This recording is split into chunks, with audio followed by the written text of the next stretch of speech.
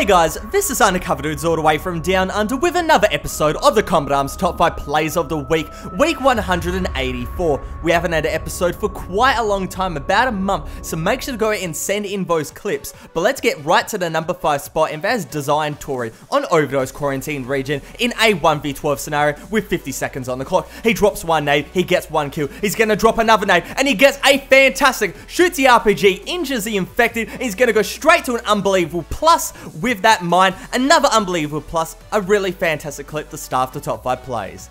Coming in at the number 4 spot, we've got Cheerless Edits, and he is going for a bit of a free run on Overdose Quarantine Region in a 1v12, identical to the number 5 spot actually, but in this clip, as I said before, he's going to be free running. 20 seconds on the clock, he's going to go and jump down, try to go and stir up a bit of action, try to go and stir up the infected a little bit, runs on the rails, jumps down, goes down the side. Now he's going to go towards the boxes, a little bit of a fakey, a little bit of a juke, goes on the rails, drops down again, and now with about 5 seconds left, he's to go for a bit of a cheeky maneuver. Try to get try to get all the infected around him. The final, final ending. There is so many in front of him. But in the end, he goes and wins. Even though he did get infected, but he got infected after the timer went and hit zero.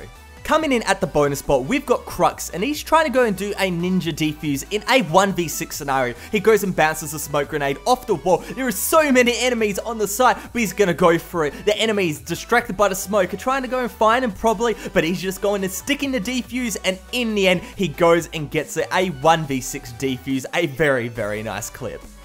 Securing the number 3 spot, we have got Astron XD on Oilrig One Man Army using an L96A1 and an L96A1 Arctic Wolf. And these two weapons, classic, classic, quick, quick scoping sniper rifles, and he's going to go and put them to very, very good use. He goes and picks up the double. He goes and gets the Ultra with a very long range collateral. Now he's trying to go in pick up the fantastic. He does go and get it. Looking for the unbelievable. Where is the unbelievable? It's right behind him. He goes and gets that one as well. A very nice unbelievable plus headshot. Swapping between the sniper rifles. He's going to go and get another one. He's going to try to go and get another one, but he gets it on the second shot. Looking around, his mouse is shaking, his hands are shaking, but in the end, he can't go and get any more kills.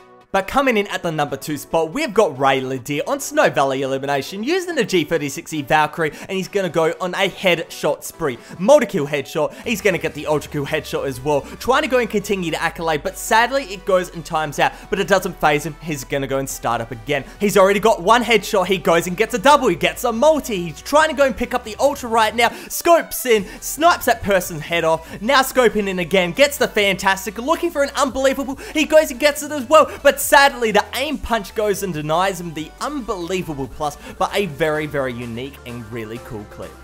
But coming in at the number one spot, the clip that beats them all is Next Legacy CA on Oil Rig Arms Race, currently using the Ultimax 100. He's on the double kill and needs one more to go and pick up the multi, goes and gets it, swaps it to MK48 Mod O, spraying around, gets the Ultra, gets the Fantastic. He needs just one more to go and swap to a shotgun and get the unbelievable. He does go and get it, but sadly he dies. He respawns right back in with a respawn token, instant respawn token, and picks up an unbelievable and an unbelievable plus two. Bunny hopping and reloading, goes and gets another unbelievable. Now swapping to the M590 first green. He's to go get one and go and get another. Picks up the HP pack while he's at it. He needs one more kill to swap to another weapon, and that's the L115A3. Picks up a quick scope, sadly dies, but respawns right back into it. Gets another kill. He dies again, but respawns right back into it. Needs one more kill to go into a pistol, and the G18 Cobra is a gun he is assigned. Spraying away, picks up another. The unbelievable spree is absolutely insane. He's only on 6 HP, but he's trying to go and make it work. He connects a few bullets, but he needs just one, one more, but he can't go and get the final knife swipe to pick up another unbelievable. But overall, that was an unbelievable plus 12 streak.